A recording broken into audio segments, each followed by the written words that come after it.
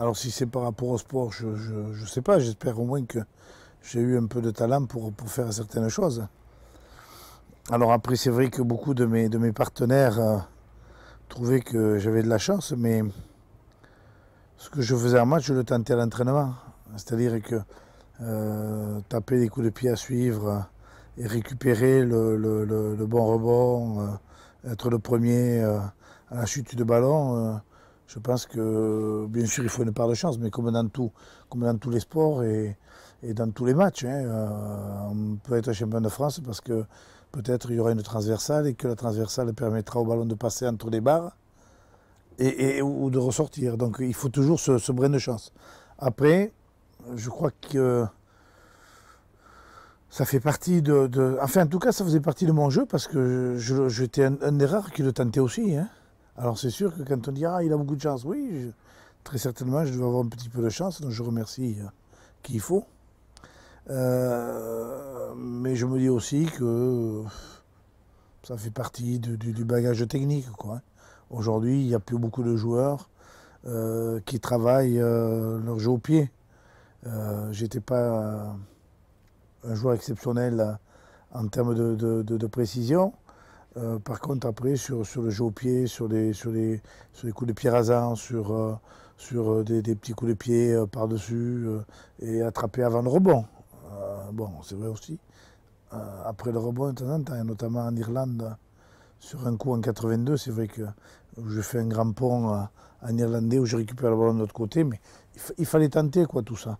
Alors c'est vrai qu'après on me dit ah il a de la chance, mais aujourd'hui je vois pas beaucoup de joueurs qui tentent ça. Sur le plan des affaires, je crois que oui, je pense que j'ai eu de la chance parce que j'ai rencontré les personnes exceptionnelles avec qui j'ai pu m'associer.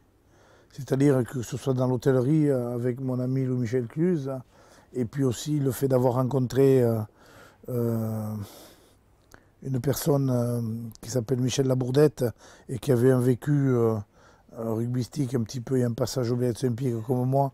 Et après, il avait été le créateur de, la société Massif ici dans, le, dans, le Grand Sud-Ouest. Et, là, il s'est reconnu un petit peu par rapport à ce que j'avais fait, par rapport à ce qu'il avait vécu aussi. Euh, donc, euh, il y a eu ce, coup de pouce. Euh, bon, mais après, avec Louis Michel, eh on, a, on, a, vécu des années exceptionnelles hein, où, où le, travail ne nous faisait pas peur et où on était toujours présent. après, on a eu la chance d'avoir des collaborateurs exceptionnels. Mais ça fait partie du bagage de la vie. On rencontre des gens. J'ai rencontré après Jean-Jacques Lobby avec qui j'ai mis en place une société euh, de vêtements où on a vendu des vêtements où on était complémentaires. Euh, les aventures, elles sont, elles sont humaines. Hein. Euh, au même titre que j'ai rencontré Serge, Serge Kampf, mais et contrairement à ce que tout le monde peut penser, Serge ne m'a rien payé.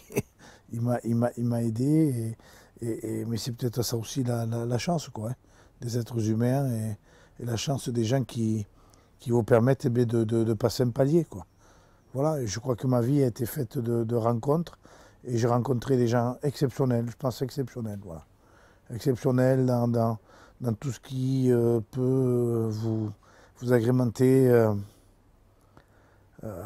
votre quotidien. j'ai rencontré Michel Selaya pour le rugby, j'ai rencontré les gens que j'ai cités tout à l'heure pour, pour, le travail, j'ai rencontré Serge Camp, j'ai rencontré, mais j'ai rencontré des, des, personnes exceptionnelles, j'ai rencontré, je crois, des, des gens qui vivaient à une époque comme la mienne.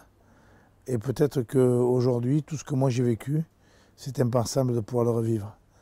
Parce que, non pas parce que nous sommes des gens extraordinaires, mais uniquement que les époques changent et que la vie a, complètement basculé. Aujourd'hui, tout ce qui fait le, lien et la force de, des relations entre les hommes euh, est en train de se perdre. Quoi. Et on peut parler de professionnalisme, on peut parler de tout, mais je pense que c'est tout simplement la vie qui, qui n'est plus la même. Avant, euh, on avait des relations exceptionnelles avec tout le monde. On était capable de s'engueuler avec tout le monde, mais on était capable aussi de mettre le mouchoir par-dessus. Et ça, c'est magique.